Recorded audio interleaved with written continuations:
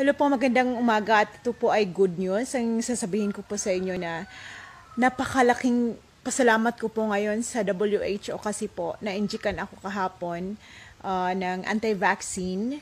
Uh, galing po yun ng ano eh, galing po yun ng China.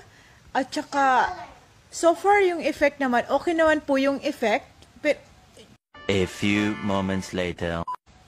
Kasi alam mo yung Q, tune to the sea.